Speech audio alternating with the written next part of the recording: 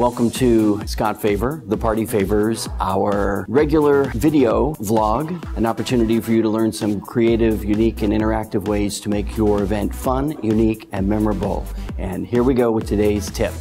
Last time we were talking about bar bat mitzvahs, and I mentioned instant entertainment.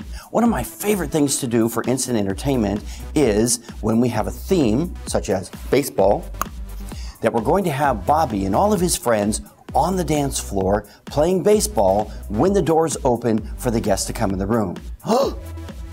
baseball? Really? Well, not exactly. You see, Bobby is the pitcher and he is throwing the ball, but there's no ball. And his best friend is at the plate and he's got a bat, but he's going to be swinging at no ball.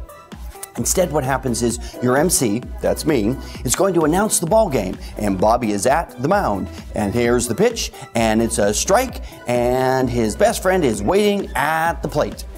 And we call the whole game, and the boys and girls playing the game have to pretend as though there's a ball. So it's a high fly and it's going across and passing Bobby and it's going to second base and it's caught. And that's our first out and we move on.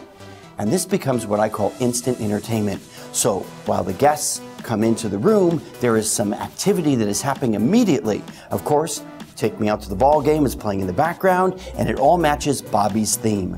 If you have a theme for your event, let's chat about how we can make it fun, unique, and memorable.